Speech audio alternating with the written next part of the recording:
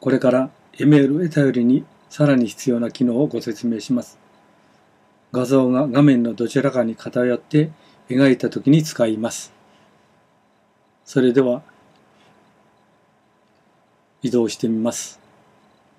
ツールボックスの編集加工の文字下3番目の一番右のアイコンをクリックします。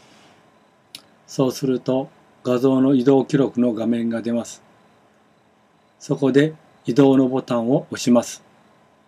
そうすると記録数100のカウントしている間に移動しておきます。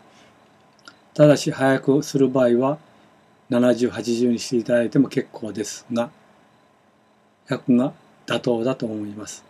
それでは行います。移動ボタンを押します。そしてマウスを動かします。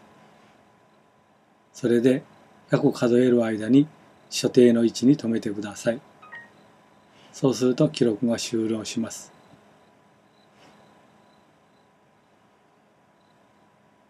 それで再度行いたい場合は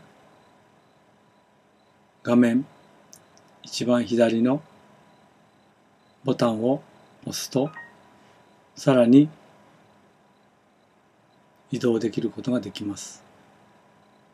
でカウント100まで待って終了します。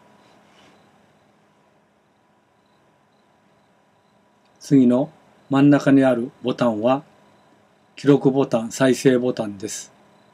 途中で再生を止めたいときは一番右のボタンを押します。